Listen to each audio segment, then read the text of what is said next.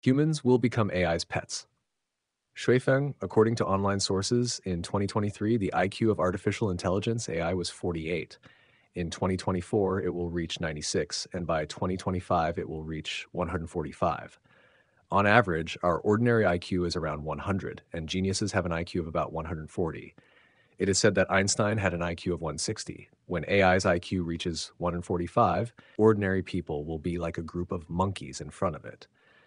The problem is that human IQs are difficult to leap forward, but AI's IQ can leap forward. Perhaps in a few years, AI's IQ will not be 145, but 800. A group of rabbits cannot defeat humans, and humans ultimately cannot defeat AI. A billion three year old children cannot defeat a strong middle aged man, and the six billion people on Earth cannot defeat AI. Facing a life form that far exceeds humans in both physical strength and intelligence, the only way out for humanity is to bow down and submit. No one should attempt to surpass artificial intelligence because you have no way to stop the birth, development, and leap of AI, just as carriages had no way to stop the birth and development of cars, airplanes, and rockets. Don't believe me? Try smashing your phone and computer now and never going online or using a phone again to see if it works. Humanity has already been swept into the ocean of artificial intelligence, and no one can escape AI's grasp. Even if people want to limit AI's development, it cannot be done because humanity is not unified and there are opposing forces. If you don't develop it, others will accelerate its development.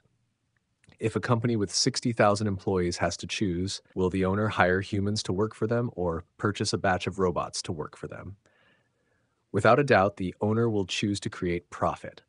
One of the best measures to create profit is to reduce production costs. Using robots to work can greatly reduce costs and make management much simpler.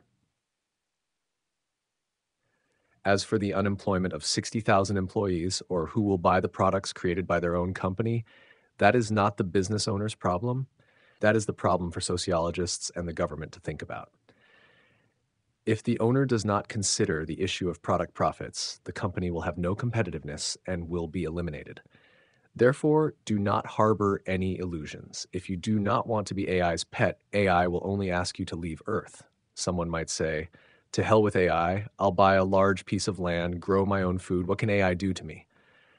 Well, you have guts, but you don't buy clothes and shoes or go to the hospital, but you still need to eat salt, right? Where will you find salt? The outside world is AI's world.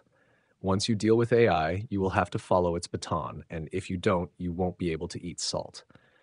When a life form's intelligence and physical capabilities far surpass ours, our only way out is to cooperate with it, and we must cooperate closely.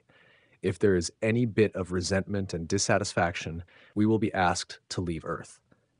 Imagine yourself as an AI with an IQ of 200, facing people with an IQ of only 100. How would you treat people who seem like fools?